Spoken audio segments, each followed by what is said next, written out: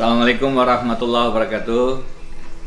Selamat pagi, salam sejahtera buat semua, khususnya dan sanak di Kalimantan Selatan Seberataan.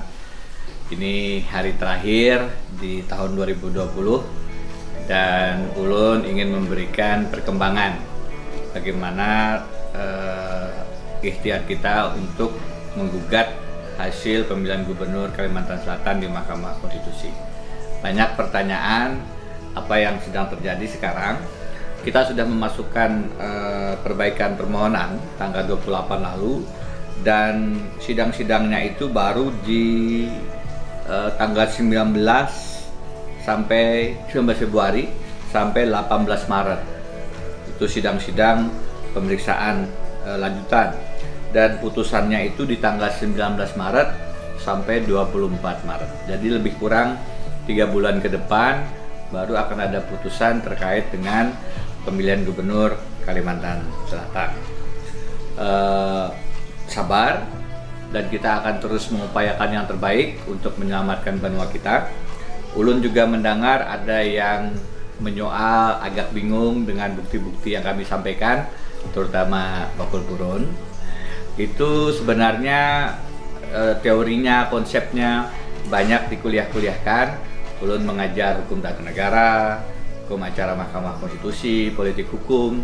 Salah satu buku yang ulun tulis uh, di sini strategi memenangkan sengketa pemilu di Mahkamah Konstitusi.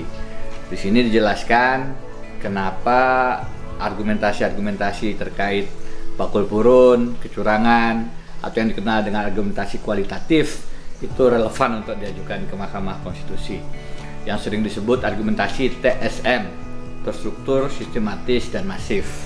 Di samping argumentasi kuantitatif, di mana mahkamah hanya menjadi kalkulator.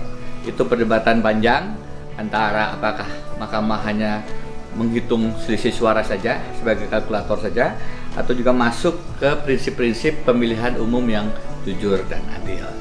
Nah, ini panjang nih satu satu semester kuliahnya jadi eh, barangkali yang belum paham bisa nanti lebih banyak belajar, mengerti eh, bagaimana hukum acara dan substansi berperkara di Mahkamah Konstitusi.